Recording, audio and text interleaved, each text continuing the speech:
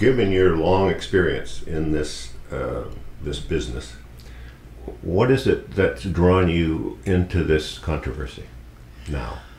Well, I was drawn into this controversy uh, way back in the late 70s uh, when I became the chairman of the board of the Tennessee Valley Authority. And uh, we had uh, what I would call an armada of nuclear power plant units that were under construction. And the cost overruns became so horrible uh, that just purely on the basis of economics, uh, my vote shut down eight of these thousand megawatt reactors uh, while they were being constructed. Uh, were, the costs were that much out of line. So uh, I, my first exposure uh, to nuclear power as an executive was back then, and I found that in order to make them meet even the NRC's safety standards, they just cost too much and uh, we were better off with uh, conservation, and uh, and we we had a huge energy efficiency program that was cheaper and quicker and far cleaner than nuclear power. Uh, and then I moved on to manage the Sacramento Municipal Utility District, and the people voted to shut down the nuclear reactor there, and we uh, I had the job of burying the plant. It supplied 50% of SMUD's power supply, and we were able to replace it without rate increases. And Sacramento is now one of the better utilities in the country with reasonable rates, and life was a whole lot better after nuclear power. But I think the thing that really changed my mind was when I visited Chernobyl five years after the accident in 1991, and I saw a monument with the name of villages on it that were dead and went out there and, and uh, talked to a few people that were still hanging around. And when I talked to them about the possibility of solar power, they actually cried with joy that there was an alternative. And uh, I met the mothers of the poor kids that were marching around on May Day, five days after the accident, and were exposed because the Soviets didn't tell them about it. And I realized that this was a monster. And so uh, today I feel that we got the final wake up call at Fukushima and uh, that we need to phase out and shut down the 104 reactors in America. I will put it very bluntly we need to kill them before they kill us. You have to understand the nuclear industry and the people that run it. To them, they have, and I say this advisedly, they have a religious belief in nuclear power. So facts don't interfere. You know, religion is belief. Uh, they believe in nuclear power. And I tell you how it came about. Uh, it started off as a guilt trip. We dropped the bomb in World War II, and President Truman said right after he found out about it, he said, Well, we got to make something good out of this evil. And so the whole nation started off with civilian uh, uh, nuclear power plants as a gigantic guilt trip.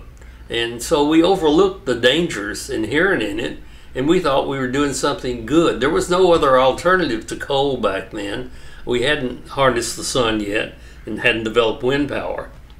And so we got into this thing uh, sort of oblivious to the fact that there is no peaceful atom, uh, that they all lead toward the bomb.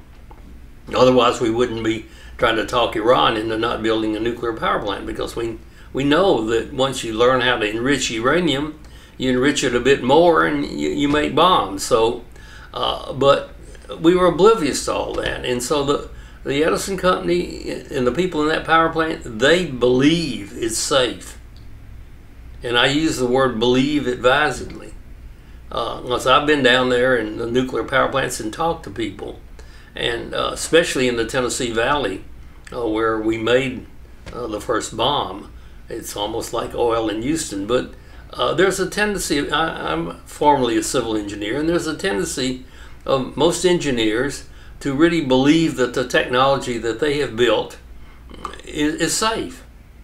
And, and so you're up against folks that are not subject to just rational thought process because they have a, a belief that's religious in nature in their technology and they, it just slides off. It's kind of like uh, back when Kennedy uh, ran against Nixon and my next door neighbor was a, a real solid Democrat, but he kept telling me why he was going to vote uh, for Nixon. And it was all because Kennedy was a Catholic and he, he just wouldn't face up to it. When you have, uh, have a religious type belief or a prejudice, you're not subject to rational thinking. The cost factor, the thing that stopped the power plants in the Tennessee Valley, uh, which was that the electric rates were going up, up, up because the cost overruns of the nuclear plants. And so when the bill for replacing the steam generators uh, at San Onofre are added to the bill that's going to be required if they make it uh, strong enough to withstand uh, the next earthquake, and the bill that will be required if they have to put in cooling towers because the State Water Resources Board won't let them keep sucking all the water out of the ocean and killing fish. When all those bills add up, uh, I think we'll be able to show that it's uneconomic. And I, I don't think that it's possible for the Nuclear Regulatory Commission to ever change its habits of being mainly a puppy dog rather than a watchdog uh, because uh, it's influenced uh, by the industry. And matter of fact, you don't get confirmed nowadays to be on the Nuclear Regulatory Commission unless you, quote, believe in nuclear power. They can't just charge it to the ratepayers. We do have regulatory commissions at the state level whose job it is to protect the ratepayer, and that's where the fight has to be waged. And there has to be a good deal more interest in what happens at the State Public Utility Commission than, than has taken place in the past because uh, most environmental organizations have not gotten their hands dirty uh, with the hard job of putting in evidence uh, before a regulatory commission to show that these costs are, are just going up, up, up, and of course, thus far, the old plants uh, have not had additional costs. Fukushima is a wake up call, and we have to realize uh, that just because a dog is sleeping doesn't mean it isn't going to wake up and bite you. It's, a, it's not just the nuclear reactor itself, but all of the spent fuel, all of the nuclear trash that has piled up for 30 years. People don't realize the trash man, the federal trash man, never came.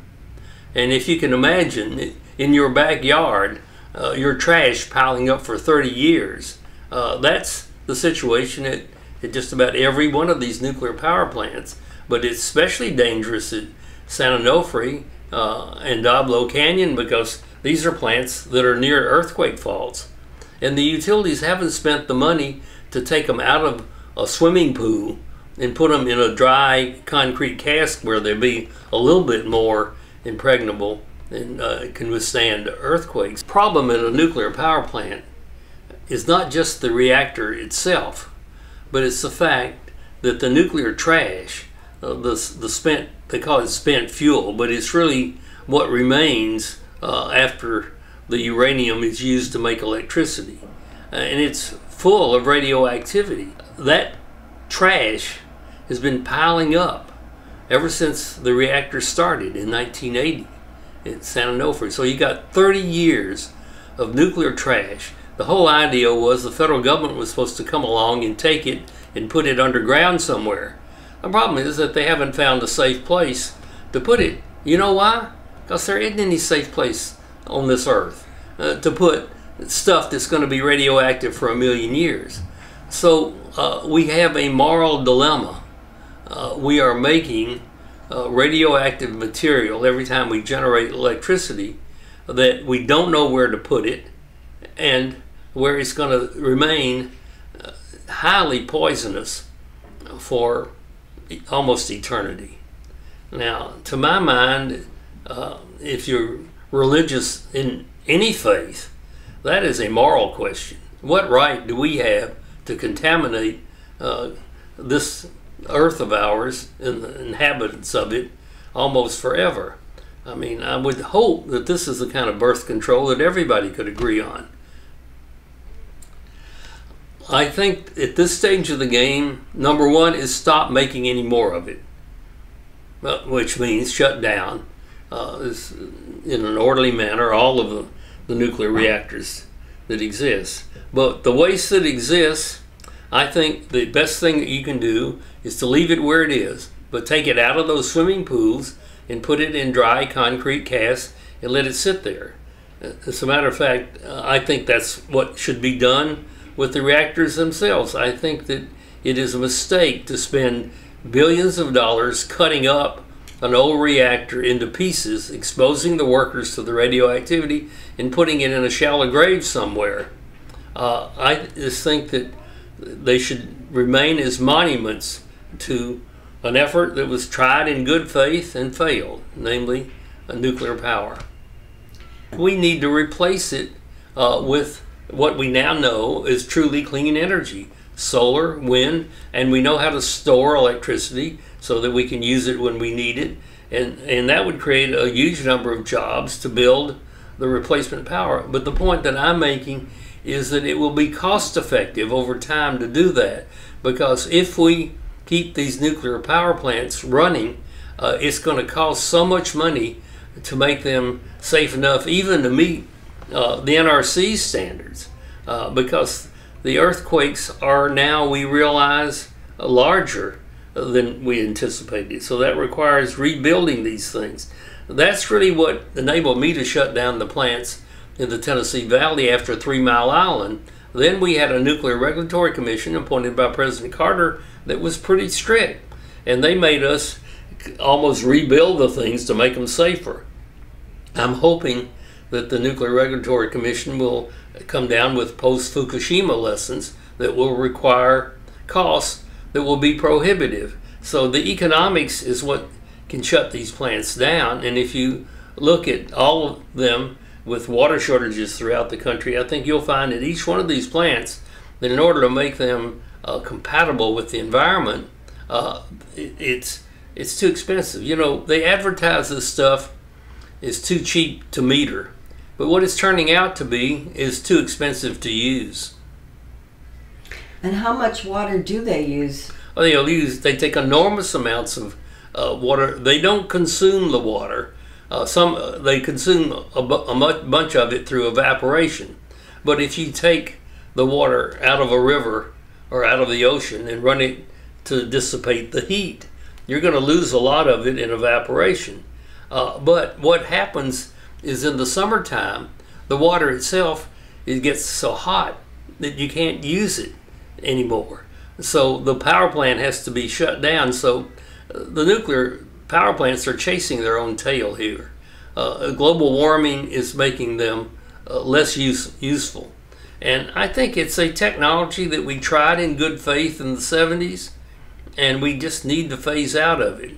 I'm not saying that every plant uh, could be shut down overnight, but certainly one that, like San Onofre, that's leaks steam and that pretty clearly now needs new steam generators that I don't think the utility is willing to pay for itself. Uh, you know, we, we need to give it a, a decent burial.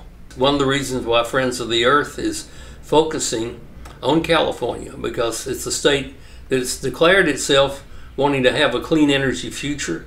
It's already mandated that 33% of electricity by 2020 has to be renewable. And I think uh, it is a state where we can, we've already shown in Sacramento that you can bury a nuclear power plant and, uh, and get along real fine without it, in fact, better uh, and the whole state can set that example, I think can, can have a tremendous impact. That's why I'm spending my 86th year uh, trying to help make it happen. The uh, rules that came out after Three Mile Island required existing plants. In fact, it required plants under construction to change. Uh, I, you know, that raises an interesting point. The industry is bragging about how much safer their new design is than the existing plants. Well, if you turn that sentence upside down, what they're really saying is these old plants are a whole lot more dangerous than the new ones, and and mostly the new ones are being opposed. So there's even more reason why we ought to be focusing on the old ones because they're the ones that are truly dangerous and they need to be phased out. Uh, you know, uh, the ones near earthquakes need to be shut down.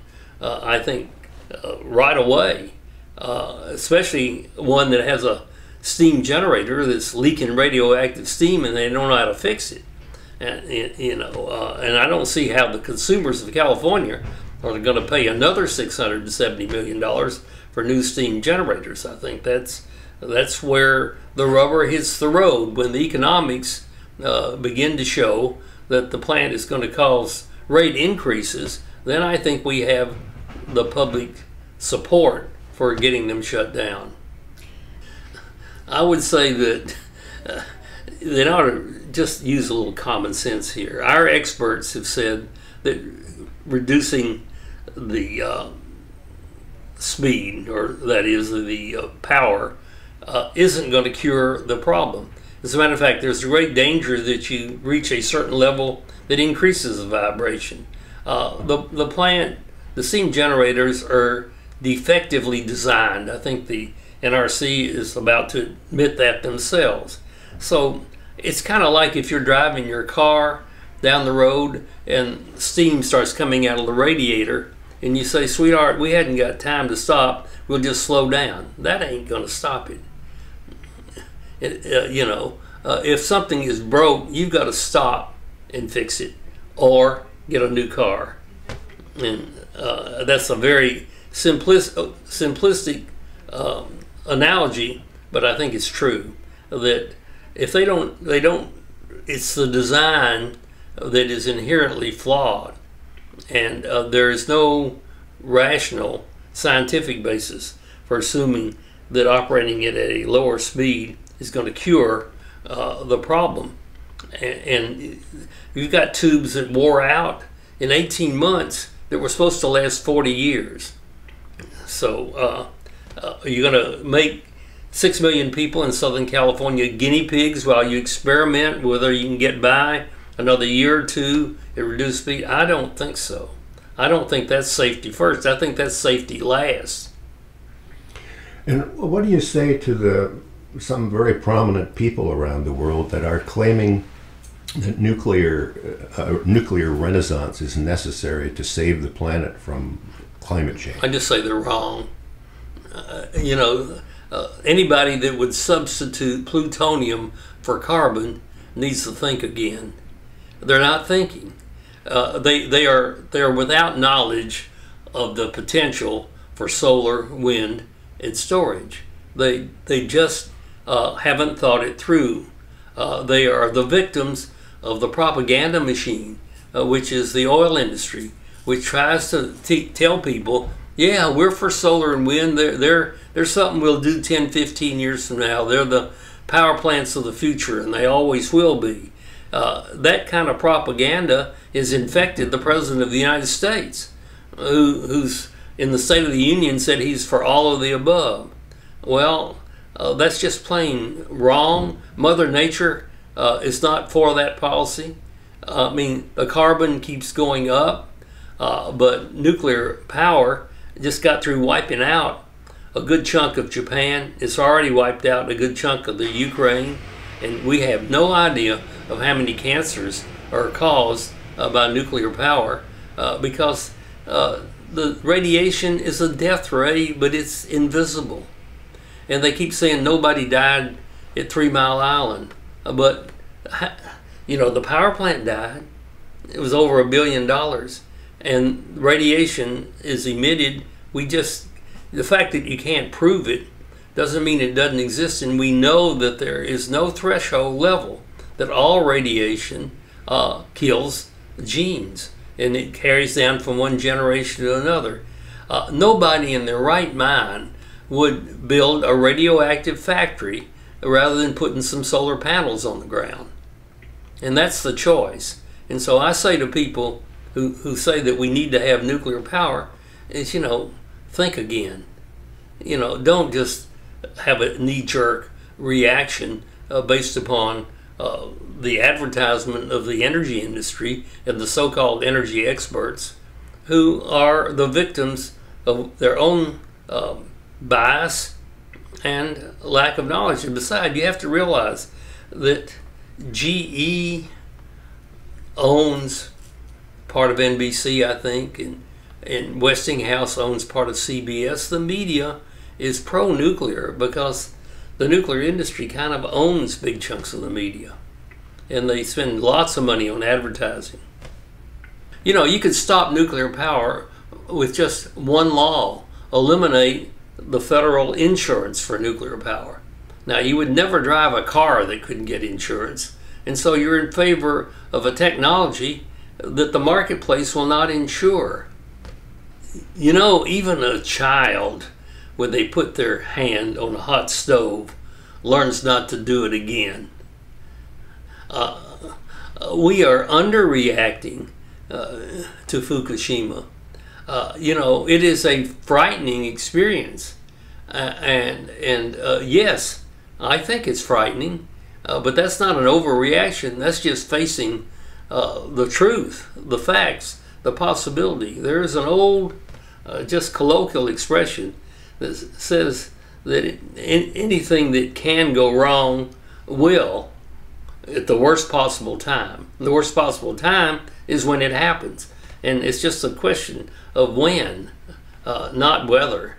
You don't need an expert to recognize that power plants, is the age, become more susceptible to breaking down. They're not fundamentally different than human beings. Uh, you know, metals deteriorate, uh, things, uh, little things like the insulation on a wire will wear off over time. The Nuclear Regulatory Commission is so religiously caught up in nuclear power. They actually had a meeting the other day, a public meeting, I think it was on June the 7th, uh, in which they were considering 80 year operating licenses for these plants. Now, that is a particular form of insanity uh, that I think is incurable in that they have a religious belief in this technology. Over an 80 year period, we have no idea of what can break down and go wrong in a power plant, but we certainly have a pretty good idea that the chance of an earthquake near them becomes very, very real. So, uh, uh, but ba- basically, uh, you know, the public has got to assert itself on this issue because those radi- radioactive dogs might sleep for a long time, but when they wake up, they don't just bark, they bite.